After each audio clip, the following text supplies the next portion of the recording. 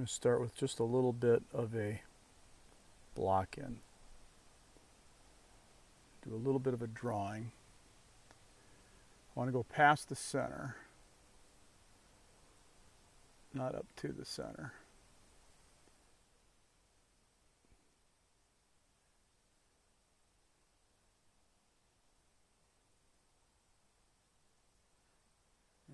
Got to keep this quick because this first test, I believe I've got like 12 minute clips. So it's all a learning curve here for me now. So, thing when painting or drawing lines to remember is not to paint up to the lines, but go well beyond them.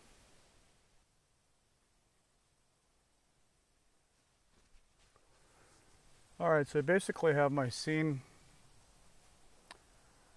somewhat blocked in. The shadow here, this is a shadow, it's going to play big. Really bright background here. I'm just going to start blocking in some bold strokes. Start with the sky.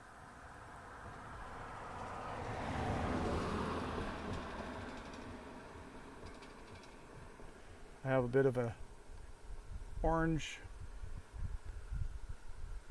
kind of a little bit of a cadmium orange, slight red, plus white Naples yellow that I used to block in the background.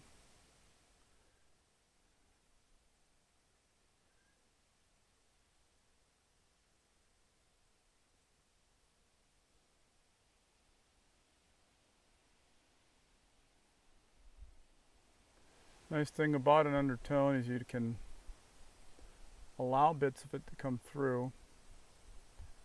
Will unify the picture. Also add some excitement. Keeps a little bit more, I suppose, a contemporary feel if you were to leave it more unfinished. Puts you in control though, and that level of finishing is going to be up to you.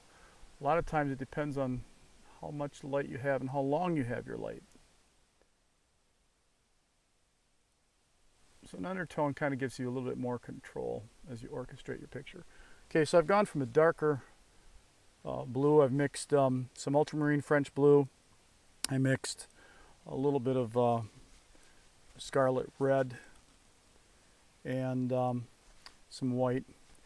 And then I, because white tends to cool things down quite a bit, I add a little bit of um, Naples yellow to it to warm it back up.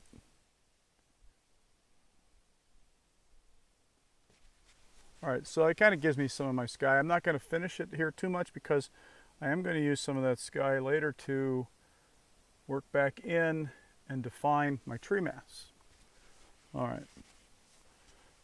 I'm using uh, rosemary brushes. I don't necessarily do a lot of uh, cleaning of the brushes other than wiping while I'm working. So I'm going to uh, work in my darker darks now. I'm going to go for a little bit more contrast here.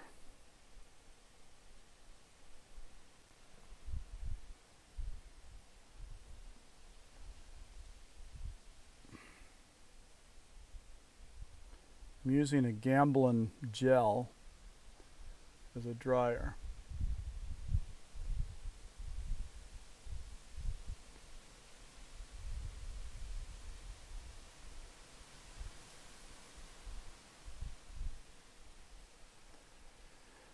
Not worried about the subject that I'm painting. Um, I'm squinting my eyes looking at shapes, the color and the value of those shapes.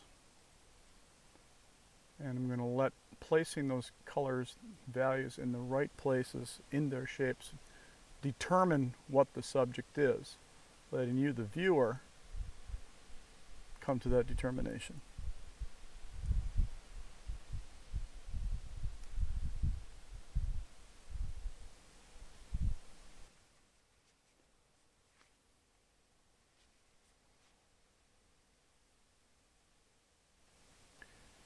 If you take two, three strokes, paint with the paint on the brush, go back and get more paint.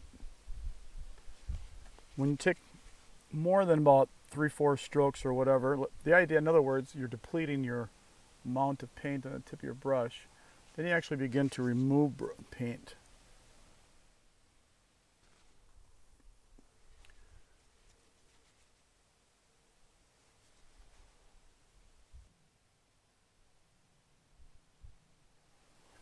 Just looking for the abstract relationships right now.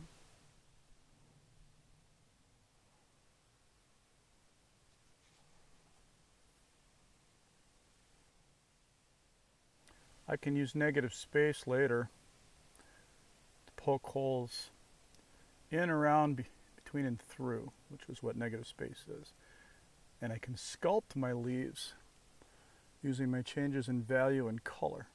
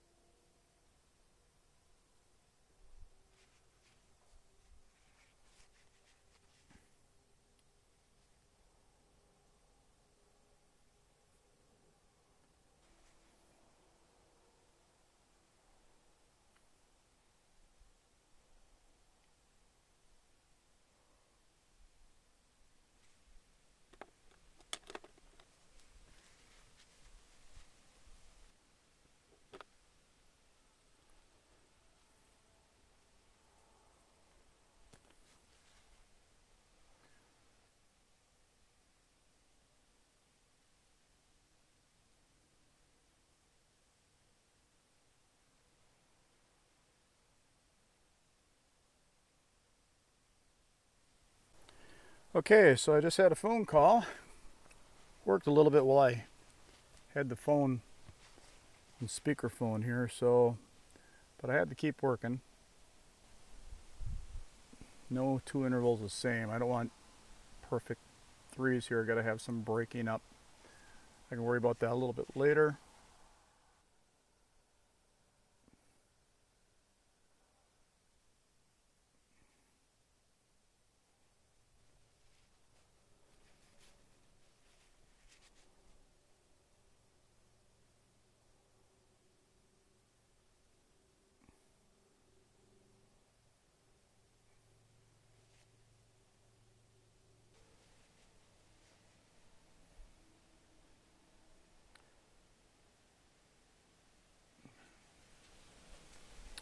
So I work back and forth, back and forth.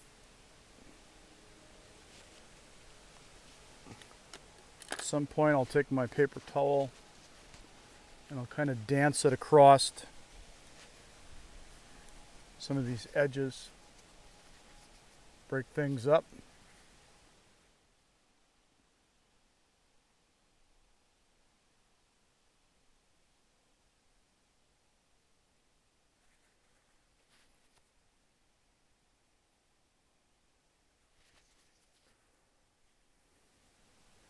Just give you a little example here.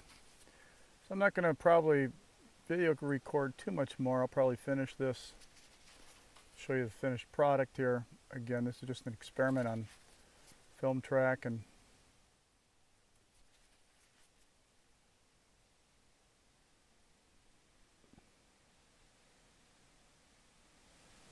the learning curve here of a new instrument for videography.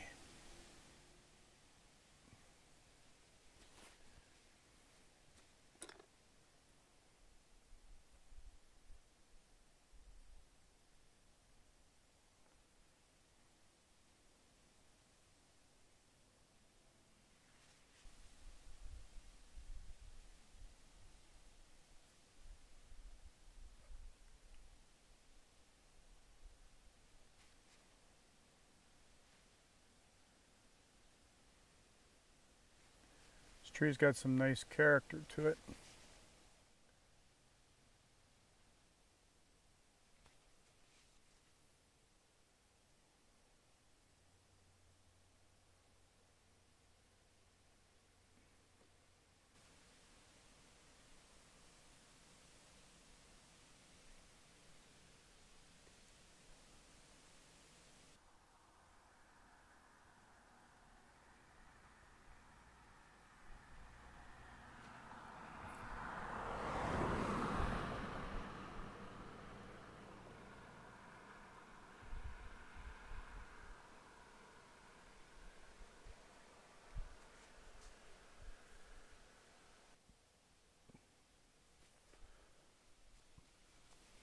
Well, I think that's about all I'm going to record right now.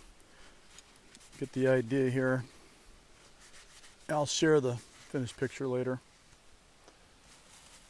It's been interesting. We'll see how this works out.